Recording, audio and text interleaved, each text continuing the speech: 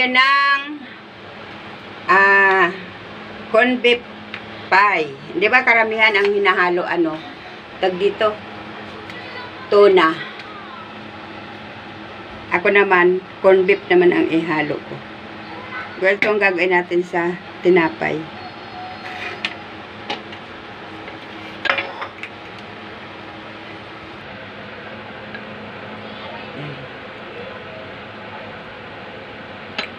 Ko tatanggalin itong ta- ano. Kasi nailagay ko sa rep, ano, medyo umano siya. Kaya, maganda pala hindi nilalagay sa rep. Tinapay. Nilagay ko kasi. Ganito, oh. Ito, maginawa ko na, oh. Ngayon, ito namang corn beef. Mantika.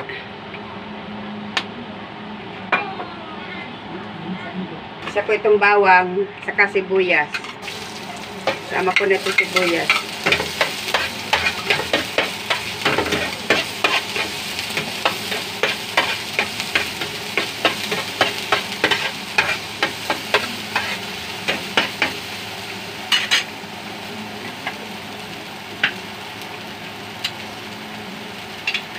Para maiba naman yung ano natin.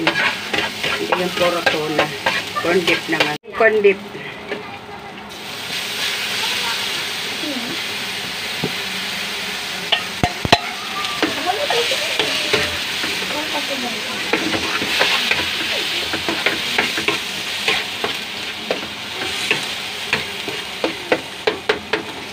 Lagay ko itong patatas. Lalagay ako ng 1 half teaspoon na asin.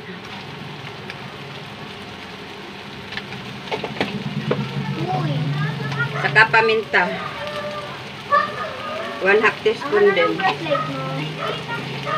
Magiging ka na?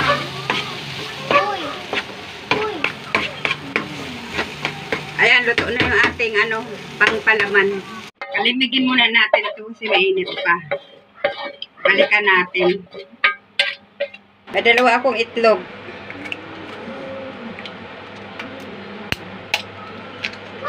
Batihin natin.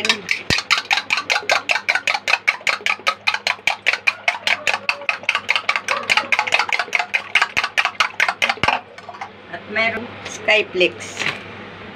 Jerry, tanggalin itong talaga. Durugin natin ito.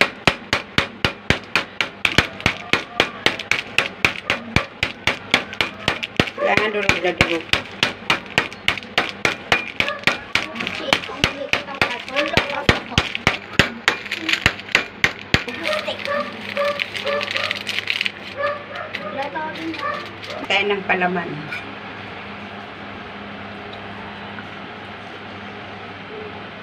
Dami ah. Ante lang.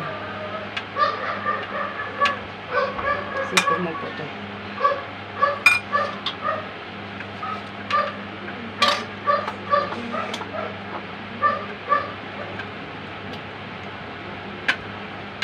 Yan natin ang dikit para hindi bumuka.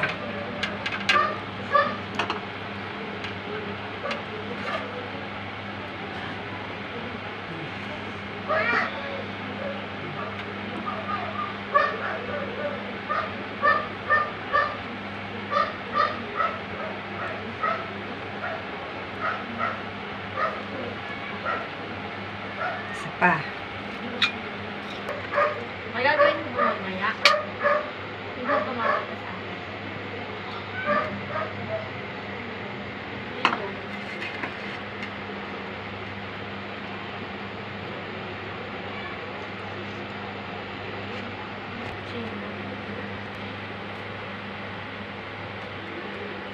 Luma natin itong tinapay. Bumubo pa.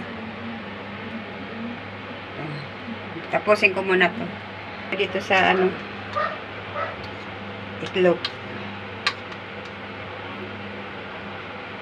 Tapos, malinis naman ang kamay ko eh. Hindi ko na kukurtuhan. Kukurtihan. Kukurtihan ng ano, tinidor.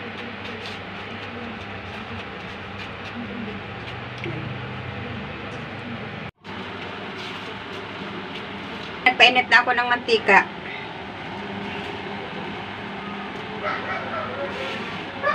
Ito ko na to.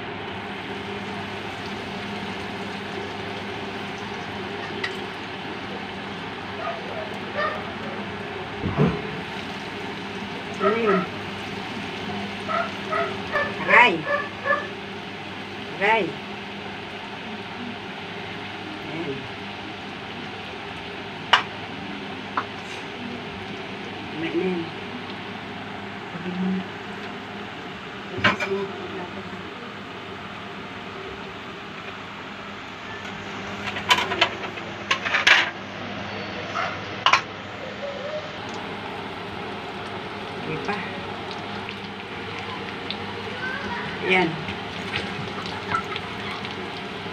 Ayan, ganda oh. Para may iba naman ang lasa. Ano kang lasa? Ng corned beef. Siyempre, masarap, di ba? Ito na yung corned beef pie. Ayan, nagumulong pa. Buksan natin. Mainit-init pa. Ayan. Ating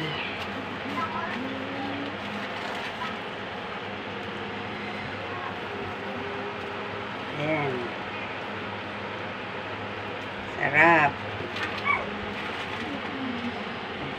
Ay, kabayo.